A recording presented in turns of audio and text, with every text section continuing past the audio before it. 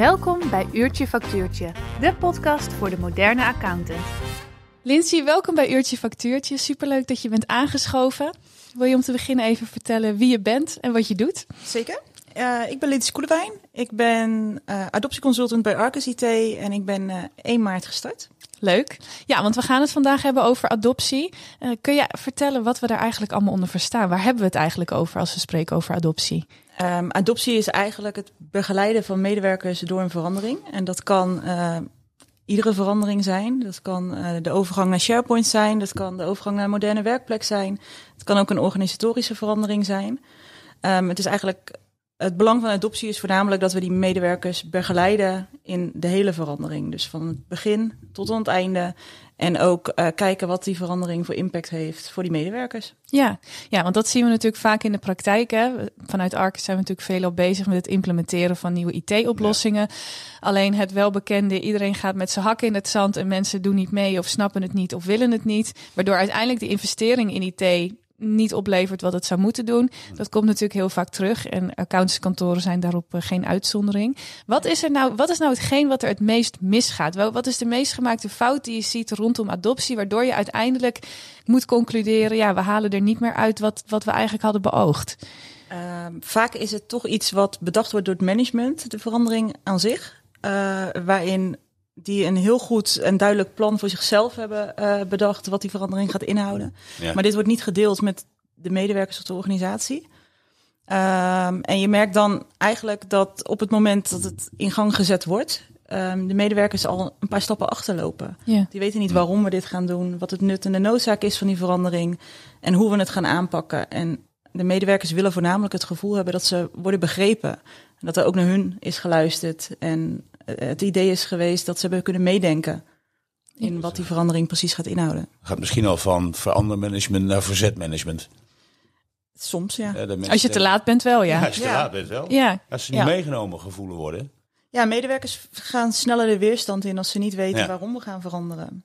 Maar ja, dat, dit is ook niet iets heel erg nieuws. Dit, het is op zich bekend dat hè, je moet de medewerker meenemen om ze mee te krijgen. Toch gebeurt het nog heel vaak niet. Waar zit dat nou in? Wat is nou, uh, hebben ze het gewoon niet door, het management? Is het een bewuste keuze? Willen ze niemand ermee lastigvallen? Wat zie jij veel gebeuren? Vaak is het tijdgebrek en toch wel um, de impact die onderschat wordt. We denken vaak, het is een kleine verandering, het is niet iets heel groots. We, we doen het al jaren op deze manier, we doen het ja. nu ietsjes anders. Maar dat is niet het enigste wat, uh, wat leeft bij die medewerker. Die medewerker die, um, ja, die denkt voornamelijk aan van oké, okay, ik moet nu veranderen, maar ik moet nu ook de jaarrekening maken. Uh, ja. Ik, ik, ja, er komt zoveel op ze af. Dat ja. ze niet altijd op dat moment per se die weerstand in willen, maar die weerstand wel voelen. Ja. En omdat ze natuurlijk ook denken, ja, het is al die jaren goed gegaan. Waarom moet het nou ja, weer? Want het, ja. ik kon dit eerder in drie klikken doen en dat was ja. voor mij heel handig. En nu schijnt er één klik te zijn, maar die kan ik niet eens vinden. En ik moet door. Ja. ja. Ja, en het is daarom ook heel belangrijk om echt de werkprocessen mee te nemen. En te kijken van kunnen we die werkprocessen ook met bijvoorbeeld een moderne werkplek of SharePoint nog makkelijker maken en verbeteren. Ja. Maar dat is misschien ook wel het vooroordeel voorafgaand aan zo'n zo'n traject. Dat het management denkt, oké, okay, het gaat makkelijker worden voor de medewerkers. En dat merken ze dus vanzelf wel. Dus op het moment dat ze het zien, ja. zal het wel allemaal goed zijn. Maar dat is in de praktijk niet nee. zo, hè? Nee, in de praktijk moeten ze echt gewoon begeleid worden en helemaal in het uh, traject meegenomen worden. Ja, en hoe ziet dat er dan uit? Hoe, waar, waar moet je beginnen? Moet je mensen in een ja. zaaltje met z'n allen bij elkaar en zeggen: Dit gaan we doen en dat is het? Een poster ophangen? ja, memootje uh, versturen. Vanuit Arcus hebben we een vijf fase traject uh, ontwikkeld. En, en, dan beginnen we eigenlijk met een intake uh, met de klant: van nou, waarom wil je deze verandering? Ja. En we uh, doen wat interviews met medewerkers om te kijken van nou, wat is uh, voor jullie de impact van deze verandering en hoe kunnen we die impact minimaliseren? Um, ook stellen we een vragenlijst op. Naar aanleiding van de verandering, waarin we uitvragen bij de medewerkers van nou, wat gebruiken jullie nu voor pakketten bijvoorbeeld? Um, wat kunnen jullie straks in jullie werkzaamheden nog voor andere pakketten gebruiken? En we vragen ook hoe ze getraind willen worden, wat ze fijn vinden. De een vindt het fijn om een training online te krijgen, de ander wil graag klassikaal. Um, weer een ander wil het graag van iemand uit de eigen organisatie, omdat die het gevoel hebben dan uh, de situatie beter te begrijpen. Nou, daar kunnen we allemaal op inspelen. En ook communicatie is natuurlijk heel belangrijk. De een wil een e-mail met uitleg, de ander wil graag kennissessies, die wil kunnen meedenken. Ja. Eh, dat vragen we eigenlijk in zo'n inventarisatietraject eh, helemaal uit. En is het ook zo dat op zo'n moment dat jullie dan alles doen wat iedereen heeft gevraagd? Want dat klinkt ook wel heel veelomvattend. Maar als je het niet doet, Nee. denken ze misschien weer, maar ik zei dat ik dit wilde, nou krijg ik toch wat anders. Nee, we, we nemen dan wel echt, we nemen wel alle ideeën mee. En we gaan samen met een key groep die we samenstellen ehm, in de visie- en strategiefase, dus fase 2, gaan we kijken van nou, wat zijn nu de belangrijkste punten voor deze klant? Ehm, waar willen we naartoe met de klant en eh, hoe kunnen we dat het beste bereiken? En daarin nemen we echt wel de wensen mee, maar niet alles zal ehm, meegenomen kunnen worden. Nee, want dan moet je voor ieder individu een heel op maat gemaakt eh, leer- en communicatieplan maken. Nee, we gaan wel uit van de gemiddelde. Dus als er ehm 30% van de organisatie zegt we willen een online training, kunnen we er wel voor kiezen als de organisatie groot genoeg is om en een online training aan te bieden en een klassikale. Juist. En dan kunnen ze zich inschrijven op hetgeen waar ze zich het meest prettig bij voelen. Ja, Ja. precies dat. Hè, Ze Ja. moeten natuurlijk ook wel weten waar zijn mijn medewerkers gevoelig voor. Ja, Toch, precies. En, en je hebt het over zo'n key user groep. Eh, Waar bestaat zo'n groep uit? Hoe selecteren jullie de mensen die daaraan deelnemen? Eh, gedeeltelijk worden die door de klant geselecteerd. Dus vaak een, iemand die verantwoordelijk is voor IT, iemand uit de organisatie, ehm, uit het management van de organisatie. En ik pleit er toch wel voor om ook echt medewerkers in die groep te zetten. Ehm, en dan het liefst iemand ehm, van het bedrijfsbureau bijvoorbeeld, of eh, een accountant zelf. Ja. Juist omdat je dan die werkwijzes meekrijgt en de dagelijkse gang van zaken of de problemen waar tegenaan gelopen zouden kunnen worden, de pijnpunten er eigenlijk al direct kan uithalen. Ja, want zij moeten het werk doen. Ja, Ja, Maar dat is dus wel iets wat jij moet aansporen. Dus de, de primaire eh, reactie van zo'n organisatie is... nou, we zetten het management erop en IT. Eh, precies eigenlijk het hele probleem rondom verandermanagement. Ja, en dat is ook het leuke wel wat we uitvragen met die vragenlijst. Daarin vragen we ook eh, aan mensen hoe digivaardig ze zichzelf vinden. Mhm. Ehm, en daar krijg je ook echt wel ehm, hele leuke feedback uit. De- er zijn mensen die zichzelf echt heel laag inschatten. Nou, ja, die wil je niet per definitie in een key user groep, maar één of twee van die mensen erbij betrekken is wel heel fijn. Want zij kijken op een andere manier naar die verandering en ook een- op een andere manier naar de digitale wereld waar ze naartoe gaan. Ja. want dat dat verandert allemaal heel erg snel. Ja, dat is sowieso waar. En Willem-Jan, wat zie jij? Want jij komt natuurlijk bij heel veel accountantskantoren over de vloer. Ja. Waar, waar zie jij het grootste probleem als het gaat over verandermanagement? Wat zijn de verhalen die je Nou, terug hoort? Met name de tijdstip waarop je daarmee begint. Ehm, eh, vaak wordt er een IT-project al gestart, eh, om wat voor reden dan ook. En dan zie je dat in één keer de medewerkers denken van, ja, maar wat komt er nu op mij af? Eh, Dus daar echt op tijd mee beginnen, ja, dat levert gewoon heel veel voordelen op. In de zin van, als het project één keer afgerond is, kan ook iedereen direct aan de slag. Ja. Ja. Nou ja, en de vraag zit volgens mij bij accountskantoren soms zelfs nog wel daarvoor. Dat er, dat er partners zijn bijvoorbeeld die de een wil wel veranderen en de ander niet. Ja. Want hoe, kijk, uiteindelijk een medewerker die, nou ja, om het even plat te zeggen, die doet vaak gewoon wat er, wat er gezegd wordt. Dus die sluit aan bij zo'n key user groep. En er is ergens een keuze gemaakt, we gaan een verandertraject in.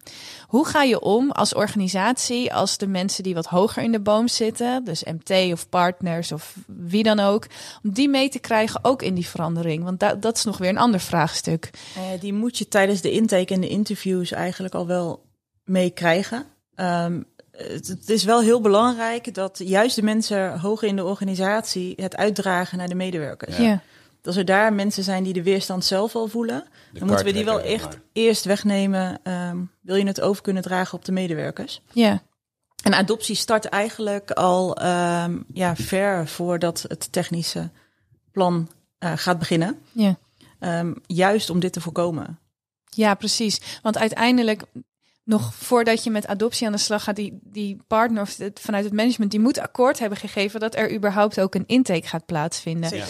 En ik weet niet of jij hier een antwoord op hebt, Willem-Jan, maar hoe kun je, stel dat je in zo'n organisatie zit en je luistert nu, je bent IT-manager, je herkent dit, want de, een van de eh, accountants of de partners of iemand uit het MT gaat altijd met de hakken in het zand, want we doen het al 40 jaar zo. Ja. Hoe ga je er nou voor zorgen dat je toch de waarde laat zien van de verandering die je wilt doorvoeren? Hoe zorg je ervoor dat je uiteindelijk überhaupt kunt beginnen met zo'n eerste sessie? Nou, we hebben wel eens voor de gein gezegd, eh, voordat je het eh, project begint, laat de organisatie zelf eens meedenken over een projectnaam. En eh, geef de, de winnende naam, eh, schenk daar een fles wijn aan of iets dergelijks. En dat kan heel simpel beginnen. Ehm, maar het is inderdaad waar dat het, het MT of directie of partner of fanhouse, hoe dan ook, dat die de kaart trekt. Ja. ja, want het gaat er natuurlijk uiteindelijk om elk type mens is weer voor elk een ander soort argument uh, uh, gevoelig. Ja. Binnen het accountantskantoor, als we even heel erg chargeren, zitten, die, zitten daar veel mensen die aan de, aan de blauwe kant zitten. Dus hè, de cijfers en de pragmatische kant. Dus je moet ook een manier hebben om ze te laten zien dat het effect gaat hebben uiteindelijk. Dat zit zelfs nog, denk ik, voor een projectnaam die je gaat ontwikkelen. Ja, en dan kom je al snel op uh, punten terecht als security. Ja. En dat, dat doordringen van mensen van let op, uh, we gaan nu niet meer mailen, maar we gaan delen. Ja. En dus dat je gezamenlijk in een document kan werken. Ja, hoe doe je dat nou? Ja. En hoe zorg je nou dat het op een veilige manier gebeurt? Maar ja, vooral ook wat levert het op? Dus waarom ben ik dit eigenlijk allemaal aan het doen? Ja, en dat is niet altijd makkelijk Nee. Nee. tastbaar te maken of meetbaar te maken. Nou, wat we zien is dat er een, uh, klanten uit een traditioneel datacenter uh, snel de moderne werkplek willen om, omhelzen, zeg maar. Uh, vaak is dat toch wel financieel gedreven. die kosten gaan daar naar beneden. Ja. Maar daar komt een hele andere werkwijze naar voren. En dan komt SharePoint erin, dan komt Teams erin, dan komt Flow erin. Nou, je hebt vast nog wel een paar die ik over het hoofd zie. Zeker. Ja, daar mag je zo wat over zeggen. Um, maar hoe ga ik er nou op een veilige manier mee om? En als je dat vroegtijdig begint, dat mensen weten van oké, okay, ik snap wat ik nu aan het doen ben dan zul je zien dat het veel sneller gebruikt gaat worden op de juiste manier. Juist. Wil je daar even op inhaken, Lindsay? Wat, wat zijn eigenlijk al die onderdelen waar we het dan over hebben? Uh, ja, Microsoft 365 is heel groot, dus we hebben echt heel veel onderdelen. Uh, wat we ook nog wel eens doen, uh, is een inspiratiesessie vooraf. Oké. Okay. Dus oh, dan ja. kunnen we samen met security um, en, en met, uh, met alle belangrijke onderdelen voor de accountancykantoren kunnen we een inspiratiesessie doen en dan kunnen we de, eigenlijk de, de mensen alvast meenemen in wat kan er nu allemaal? Ja. Wat is er mogelijk? En het zegt niet dat je het allemaal op die manier hoeft te doen of dat we het op die manier willen inrichten, maar wel de best practice van yeah. wat is nu um, echt een voordeel voor jullie als organisatie. En dan krijg je heel vaak toch ook nog wel bij de laatste mensen de, de weerstand uh, eruit en wil het bestuur wel mee. Ja, en dan zien ze ook meer het totaal in plaats van dat ze het idee hebben, oh, dan, nou is het weer Teams en nou is het weer SharePoint, dat je ook Ja. weer iets nieuws door je strot geduwd krijgt. Dan Ja. zie je het totaal waar je misschien naartoe kunt werken of de mogelijkheden die er zijn. Ja, je moet ook wel echt nadenken over de, over de processen. Want ja, ze- er zijn heel veel applicaties. ehm, en ze doen allemaal hun eigen stukje. En heel veel is ook geïntegreerd. OneDrive, SharePoint en Teams. Daar kan je alle drie documenten indelen. Dus het is wel belangrijk om vooraf na te denken van nou, hoe willen wij nou Ja. gaan, echt gaan werken. Zodat het eh, een eenduidige manier wordt die je communiceert. Ja, die keuzes moeten duidelijk gemaakt Ja. worden. Ja, eh, dat ben ik met je eens. Ja, want dat is natuurlijk ook als je aan de slag moet in een nieuw programma en er zijn nog allemaal, ja, en collega A doet het zo en ik doe het maar zo. Ja. Dat helpt natuurlijk ook niet bij de omarming van het Nee. nieuwe product. Nee. Nee, zeker Nee. niet. En rondom security, want eh, hoe, hoe pakken jullie dat aan? Dat is natuurlijk, je hebt aan de ene kant heb je, als het gaat over verandermanagement, dat mensen moeten snappen waarom een eh, programma wordt gebruikt. Dat ze weten hoe het wordt gebruikt, hoe ze ermee om moeten Ja. gaan. Als ze het niet snappen, dan doen ze het vaak ook niet. En dan hebben we die veilige kant. Op welke manier gaan jullie daarmee om? Ja, dat is iets wat in principe onze security club ehm, meeneemt in het verhaal. Ja. En eh, met adoptie ja, kunnen we natuurlijk een stukje eh, meerwaarde bieden op eh, waar ze op moeten letten. Wat, wat er in een website, wat er in een e-mail naar voren komt. Ehm, dus dat nemen we mee tijdens de trainingen. Maar in principe ehm, is onderdeel van een inspiratiesessie ook het security, eh, het security stuk. Ja, Ja. precies. Hey, en het, het klinkt natuurlijk goed. Hè? En ik denk dat als je het over totaal bekijkt, is het heel erg belangrijk dat je, die, dat je de veranderingen goed managt. Het klinkt ook wel tijdrovend. Wa- Waar, waar moet je als organisatie aan denken? Als je, ik kan me best voorstellen, hè, vooral eh, nou ja, uurtje factuurtje, als je op die manier nog werkt. En je moet al je medewerkers een paar keer in sessies en online dingen en, en, en key user groepen. Eh, waar hebben we het dan over? Hoe tijdrovend is het? Ja, dat is natuurlijk wel afhankelijk van hoe groot de klant is en hoe groot die- de usergroep is die we daarin eh, moeten betrekken. Ehm, ook hoe groot de weerstand is eh, onder de medewerkers. Want als je een groep hebt waar veel weerstand is, ja, dan zal je meer tijd moeten besteden aan het meekrijgen van de medewerkers. Ja. Ehm, dus je, je kan daar niet echt een heel eenduidig antwoord eh, op geven. Maar een verandering accepteren binnen een organisatie duurt toch al snel wel een maand tot ander, anderhalf, nou, soms twee, soms drie. Hangt er echt wel een beetje van af. Ja. Ehm, en ja, je bent niet continu bezig met die eh, verandering. Ehm, alleen het meedenken in de, in de sessies, ja, dan ben je als key user toch wel snel een uurtje of acht aan kwijt. Ja, precies. Maar ja, wat is het alternatief als je het niet doet? Want dat, ik weet niet of je dat inzichtelijk hebt en het hoeft ook niet in cijfers, maar de tijd die het kost als je dit niet doet, de weerstand na afloop die het oplevert of het gebrek in productiviteit omdat ze het niet weten, dat zou misschien nog wel je heftiger merkt heel zijn. vaak dat eigenlijk het, gewoon het hele systeem dan niet geaccepteerd is en iedereen op de oude manier blijft werken. Ja, Ja, Ja, wat en eigenlijk dan- al niet meer kan. Nou ja, wat, wat eigenlijk niet meer kan, maar toch ook wel kan. ja. Ehm, dus mensen gaan dingen op hun eigen schijven opslaan, Ja, eh, dat, gaan ja. nog steeds blijven mailen. Dus dan heb je ehm, op een gegeven moment merk je gewoon eigenlijk niks van het nieuwe systeem, terwijl het heel veel toegevoegde waarde heeft. En dat maakt dingen ehm, lastig, want dan ga je over een jaar hetzelfde traject nog een keer aan moeten gaan. ehm, om opnieuw weer die medewerkers mee te krijgen en toch de nieuwe manier van werken te introduceren. Ja, dus met andere woorden, hoe sneller je adopteert, hoe minder kosten je hebt eigenlijk. Zeker. En ehm, het is één keer een investering in tijd. Ja. Ehm, maar het geeft je heel veel terug. Alleen, ja, welke cijfers daar precies aan gekoppeld zijn, eh, die moet ik je te goed houden. Ja. Ze zeggen dat als je adoptie ehm, meeneemt in het adoptietraject, dat je zes keer betere resultaten bereikt qua productiviteit in het werk. zo, dat is best veel. Ja. En word jij vaak al op tijd aangehaakt van hé, hey, we willen een verandering aangaan en nu kun je helpen? Of is het ook nog dat je vaak wordt gevraagd van oké, we hebben het is helemaal, gaat helemaal niet goed, het is al geïmplementeerd, kunnen we nu nog aan de slag met adoptie, want iedereen moet meegaan? Het is eigenlijk een beetje van beide. Ehm, we merken heel erg bij klanten die een jaar geleden bijvoorbeeld geïmplementeerd zijn, die nu terugkomen en zeggen: ja, maar we werken toch eigenlijk niet zo eh, met die moderne werkplek zoals we zouden willen. Of het is toch niet echt van de grond afgekomen. Ehm, ja, en ehm, eigenlijk moeten we er steeds meer naartoe dat we gewoon echt adoptie al inzetten voor de technische implementatie. En dat Ja. gebeurt nu echt nog te weinig. Ja, Het is nu toch vaak de handtekening wordt gezet. We gaan het inplannen. En op het moment dat het technische traject gaat starten, gaan we ook starten met adoptie. En eigenlijk moet adoptie al starten na het zetten van de handtekening. Ja. ja, want ik denk dat veel accountants ook wel zullen denken, ah joh, dat is toch allemaal zo simpel, dat snappen ze hier wel.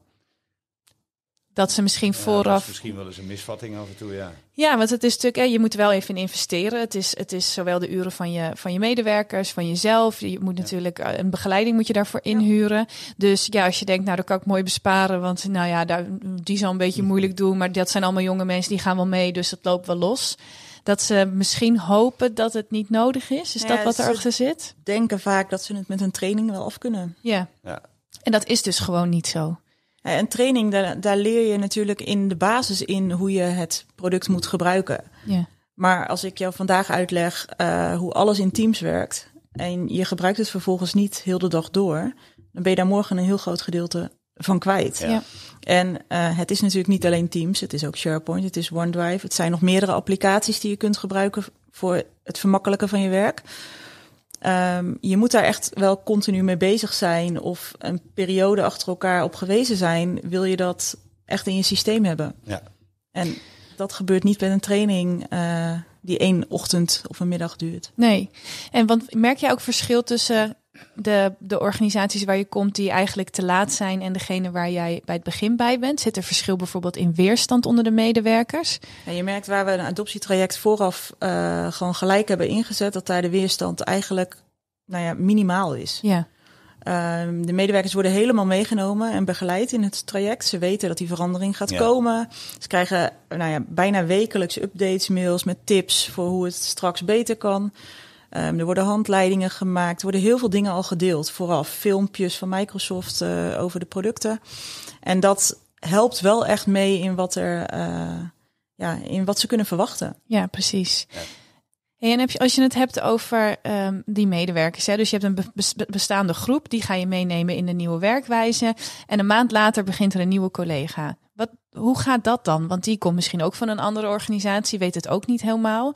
Hoe zorg je ervoor dat de kennis die je aan de basisgroep hebt ge- geleerd of daarmee hebt gedeeld, ook wordt doorgegeven naar de ja, volgende generatie? Klinkt wel groot, maar naar de, de nieuwe collega's. Ja, dat is natuurlijk ook een beetje afhankelijk van ehm, wat de afspraken zijn met de klant.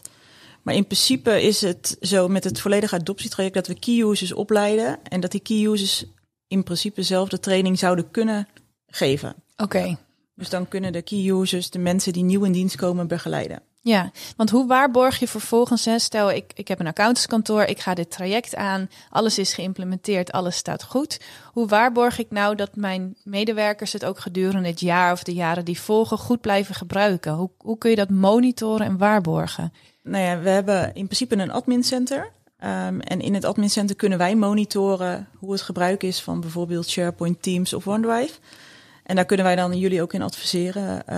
Um, wat, wat daar nog beter in zou kunnen, uh, ja. wat er anders in zou kunnen. En ik denk dat het uh, met de digitale wereld van tegenwoordig zo uh, belangrijk is om eigenlijk ieder jaar wel een keer een training te volgen. Het gaat zo hard en er ja, zijn zoveel hard, ja. um, updates tussendoor. Die um, allemaal van toegevoegde waarde kunnen zijn. Niet allemaal hoeven, maar mm. wel kunnen in het proces. En um, ik denk dat je jezelf tekort doet als je daar niet in mee, uh, mee zou gaan. Nee. En het zou denk ik ook mooi zijn als in het onboardingsproces van een opdrachtgever of een werkgever, als dat gewoon in de inwerkperiode ook ja, aandacht aan wordt besteed. Ja. En zijn er dan gewoon standaard filmpjes of documenten die je daarvoor kunt gebruiken in combinatie met zo'n interne trainer die, die je dan hebt opgeleid? Zeker. Microsoft heeft uh, in ieder geval voor SharePoint, OneDrive en uh, Teams uh, gewoon een, een basis Office trainingspagina. Waarin eigenlijk alle nieuwe features worden uitgelegd. Ja. En ook de bestaande, dus je kan heel makkelijk korte filmpjes van twee minuutjes uh, bekijken. Um, ook Teams heeft zelf een helpfunctie waarin je uh, een stukje training kan doen. En ze zijn natuurlijk ook nog bezig met Viva. En daarin uh, komt ook nog een stukje training naar voren. Dus ze zijn er wel druk mee om eigenlijk iedereen mee te blijven nemen in de veranderingen die gaande zijn. Maar daar ligt natuurlijk ook een rol voor ons als Arcus. Ja om onze klanten daarin te begeleiden. Ja, en hoe zie je dat voor je? Hoe, hoe zou je dat willen doen? Want het is natuurlijk inderdaad, je kan niet voor elke nieuwe medewerker weer alles uit de kast trekken en hele sessies, trainingen nee. online, alles op gaan tuigen. Uh, hoe zie je dat voor je in combinatie met zo'n die documentatie van Microsoft bijvoorbeeld? Ja, we hebben zelf uh, korte handleidingen um, opgesteld. Om, om, om medewerkers te begeleiden. Dus in principe zou je bij de start van een nieuwe medewerker um, uh, kan die medewerker altijd wel uit de voeten. Het is natuurlijk ook afhankelijk van het proces wat je hebt afgesproken met de klant en het proces wat die klant uh, qua werkprocessen heeft uitgewerkt. Um, maar we kunnen er zelfs naartoe dat we misschien op den duur zelf in-huis trainingen gaan geven waar medewerkers op kunnen aanhaken. Ja, precies. En als je nou kijkt naar het resultaat van zo'n training, hè, want uh, aan de voorkant hebben we het gehad, zit er ja. vaak weerstand. Mensen willen gewoon op de oude manier blijven werken. Nadat alles is geïmplementeerd, wat merk jij wat de reacties zijn van, van medewerkers? Hè? Of niet eens per se binnen de accountancy, maar in algemene zin. Wat vinden zij daadwerkelijk van zo'n Microsoft werkplek? Zien ze de meerwaarde ervan in? Zeggen ze dit is echt fijn? Of hebben we gewoon ervoor gezorgd, dankzij die, dat verandermanagement, dat ze het oké vinden? Als verandermanagement echt is toegepast, dan vinden ze het uh, fijn. En dan kunnen ze er ook veel meer mee uit de voeten. En je merkt heel erg dat bij bedrijven waar het niet met adoptie is geïmplementeerd, dat ze het als enigste voordeel zien dat ze er ook mee kunnen thuiswerken. Uh, dat ze makkelijk thuis bij hun documenten kunnen. Ja. Maar daar is vaak dan niet het optimaal gebruik van Teams benut. Um, dus echt vergaderen en uh, echt uh, sessies geven in Teams. Dat wordt dan niet gebruikt. Nee. Het bellen met Teams wordt niet of nauwelijks gebruikt um, binnen de accountancy. Dus dan toch nog vaak gewoon heel even met een mobiel, maar niet echt vergaderingen. Nee, precies. Uh, ja, je, je kan zoveel uh, met het pakket. En um, medewerkers die de tijd krijgen om zich daarin te verdiepen, want dat, dat is het eigenlijk een dat beetje. Het, ja. Ja. Door ze mee te nemen in het adoptietraject begeleiden we ze gedurende een hele periode um, in het pakket. En niet alleen tijdens de vier uur van de training. Dan hebben ze er gewoon veel meer profijt bij om ermee te willen werken. Ja, precies. En zien ze veel meer voordelen. Ja, kunnen ze gewoon lekker aan de slag. Ja. Veel sneller dan voorheen. Ja, want het is natuurlijk, hè, wij zijn erg overtuigd van de meerwaarde van Microsoft. Maar er zijn ook gewoon nog veel kantoren die twijfelen over de inzet er überhaupt van. Ja, en ook veel kantoren die gewoon hun eigen systemen hebben. Um, en op die manier ook het werken wel prima vinden. Ja. En het kan heel veel meerwaarde bieden. Um, maar niet iedereen ziet dat direct. Nee. Dus dat is echt een kwestie van, uh, van gebruiken. En dan toon je de meerwaarde ervan aan. Dus tijdens de trainingen gebruiken we ook cases om even met elkaar te chatten, even met elkaar te bellen. Proberen we praktijkvoorbeelden um, te benoemen. Ja. die de voordelen laten zien. Ja, dat is natuurlijk heel erg belangrijk. En dan zorgen dat je iedereen aan boord krijgt. Dan zorgen dat je iedereen aan boord Precies. Nou, Ja. dat lijkt me een mooie afsluiting eh, van deze aflevering. Lindsay, ontzettend bedankt voor het delen van al je kennis en je tips. En eh, wellicht eh, spreken we hier een andere keer. Heel graag. Leuk. Jo. Dankjewel. Dit was de 26e aflevering van Uurtje Factuurtje. Tot de volgende keer.